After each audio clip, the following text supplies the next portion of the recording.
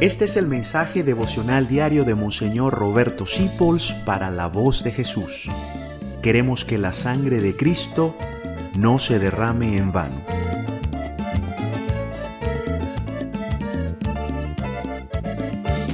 Hoy cumplo años de sacerdote. 38 años desde que fui sacerdote. Y San Ignacio de Loyola tiene una frase. ¿Qué he hecho por Cristo? ¿Qué hago por Cristo?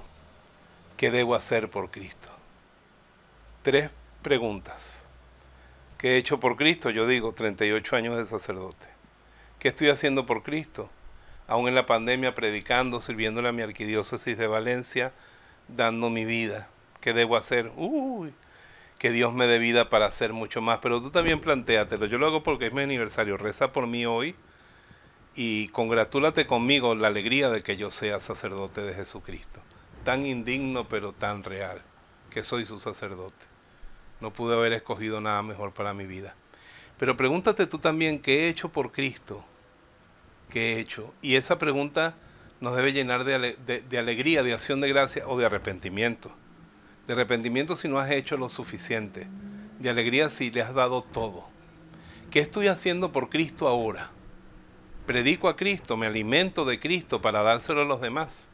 Le sirvo en la iglesia, le sirvo en el mundo, le sirvo en los pobres. ¿Qué hago yo por Cristo hoy? ¿Cuánto hablo de su causa? Él cuenta conmigo hoy. ¿Y qué me pide el que haga en el futuro? ¿Qué iniciativas puedo tener para llevar más allá adelante su reino? Cristo cuenta contigo, Cristo cuenta conmigo. Qué maravilla que Él nos haya llamado a su servicio, a ti y a mí. Y Él lleva cuenta de todo lo que hemos hecho. Él ve todo lo que estamos haciendo y Él sueña con lo que haremos. Cristo cuenta con nosotros. Yo tengo el otro día estaban limpiando mi cuarto, me dicen, padre, aquí hay un Cristo roto, lo botamos. Yo digo, no, ese es el de predicarle a la oscura. Es bellísimo. No tiene brazos ni tiene piernas. Yo se lo pongo a los curas en un cojín y le digo, miren, ahí está Jesús. Ustedes y yo somos sus brazos. Ustedes y yo somos sus piernas.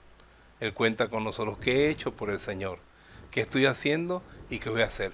Felicítenme, soy un cura feliz por mí y por mis hermanos sacerdotes, recen por nosotros. Dios los bendiga y los puedo bendecir así porque yo soy su sacerdote. Gracias por dejarnos acompañarte. Descubre más acerca de la voz de Jesús visitando www.lavozdejesús.org.be. Dios te bendiga rica y abundantemente.